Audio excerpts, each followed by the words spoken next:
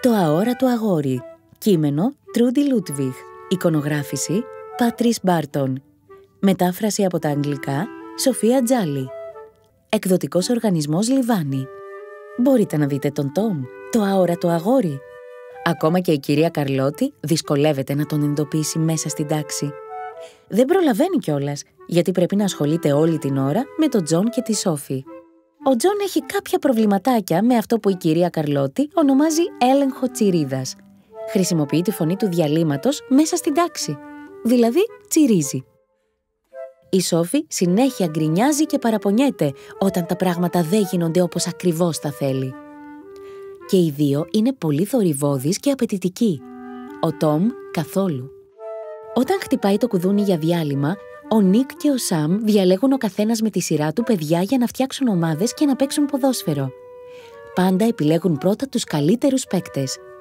Έπειτα επιλέγουν τους καλύτερους φίλους των καλύτερων παικτών.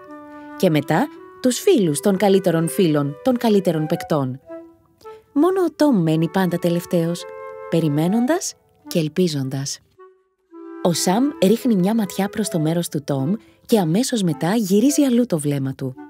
«Έχουμε αρκετούς παίκτες για κάθε ομάδα», λέει στους υπόλοιπους. «Ας αρχίσουμε το παιχνίδι». Στην τραπεζαρία, η Λίζα και οι φίλοι της κουβεντιάζουν για το πάρτι γενεθλίων της. «Η κούνια που είχατε κρεμάσει πάνω από την πισίνα ήταν φανταστική», λέει ο Σαμ. «Ναι, και η νεροτσουλήθρα τέλεια», προσθέτει η Φιώνα. «Ήταν το πιο φοβερό πισίνα πάρτι που έχει γίνει ποτέ». «Πολύ χαίρομαι που σας άρεσε και περάσατε όμορφα», λέει η Λίζα. Πράγματι, όλοι είχαν περάσει υπέροχα, εκτός από τον Ντόμ. Δεν ήταν καλεσμένος.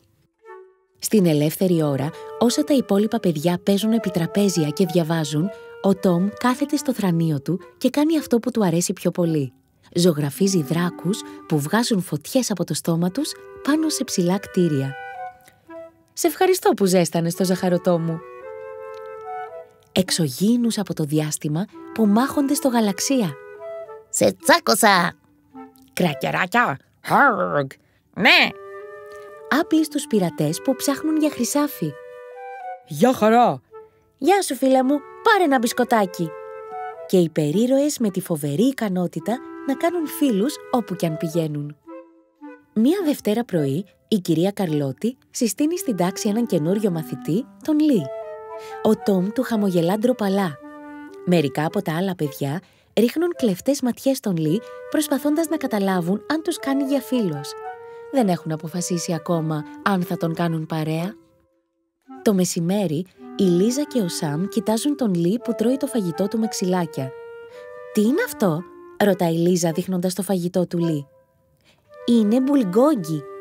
«Μπουλ τι» «Μπουλγκόγκι. Είναι ένα φαγητό με μοσχαράκι ψητό. Η γιαγιά μου το έφτιαξε. Είναι πολύ ωραίο, θέλεις να δοκιμάσεις». Δεν υπάρχει καμία περίπτωση να φάω μπουλγκόγκι. Τα παιδιά γελούν. Όλα δηλαδή, εκτός από τον Τόμ. Κάθεται λίγο πιο πέρα και αναρωτιέται τι είναι χειρότερο. Να γελούν μαζί σου ή να αισθάνεσαι αόρατος; Την επόμενη μέρα, όταν ο Λί πηγαίνει να μαζέψει τα πράγματα από το σιρτάρι του για να τα βάλει στην τσάντα του, βρίσκει ένα κομμάτι χαρτί με το όνομά του επάνω.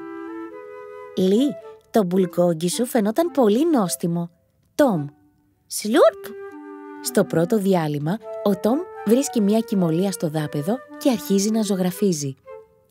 «Είσαι ο Τόμ, έτσι» «Ναι». «Σε ευχαριστώ για το σημείωμα».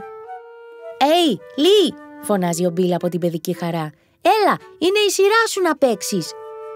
«Συγγνώμη, πρέπει να φύγω», λέει ο Λί. «Ξέρεις, αυτή η ζωγραφιά που έκανες είναι απίθανη», προσθέτει πριν φύγει.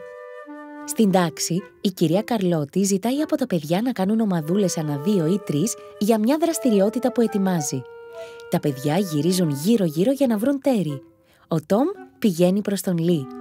«Εγώ είμαι ήδη με τον Λί», πετάγεται ο Μπιλ. «Βρες κάποιον άλλον». Ο Τόμ κοιτάζει το πάτωμα και εύχεται να μπορούσε να ζωγραφίσει μια μεγάλη τρύπα εκεί μπροστά του για να τον καταπιεί. Η κυρία Καρλώτη είπε ότι μπορούμε να κάνουμε και ομάδες των τριών. Εμείς είμαστε μόνο δύο. Έλα, Μπίλα, τον πάρουμε μαζί μας. Εντάξει, λοιπόν. Η κυρία Καρλώτη δίνει οδηγίες στην τάξη για τη δραστηριότητα που πρέπει να κάνουν. Η εργασία σας είναι να συνεργαστείτε με τους υπόλοιπους της ομάδας σας και να γράψετε μια ιστορία για ό,τι βλέπετε σε αυτή την εικόνα. Χρησιμοποιήστε τη φαντασία σας και καλή διασκέδαση. «Wow, τέλειο!» φωνάζει ο Μπιλ. «Τι είδους άνθρωποι θα ζούσαν σε ένα τέτοιο σπίτι» Δεν ξέρω, αλλά είμαι σίγουρος ότι ο Τόμ θα μπορούσε να του ζωγραφίσει για να ταιριάξουν με την ιστορία μας, λέει ο Λί.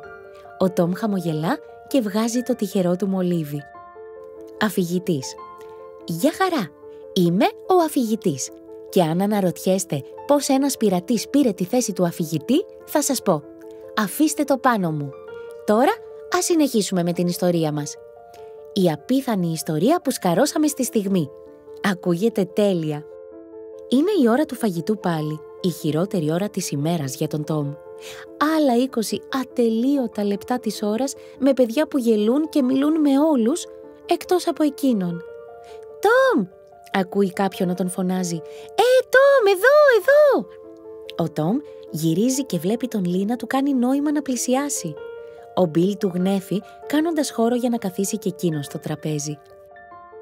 «Μπισκοτάκι;» «Ευχαριστώ», Ίσως, λέμε ίσως, ο Τόμ να μην είναι και τόσο αόρατος τελικά.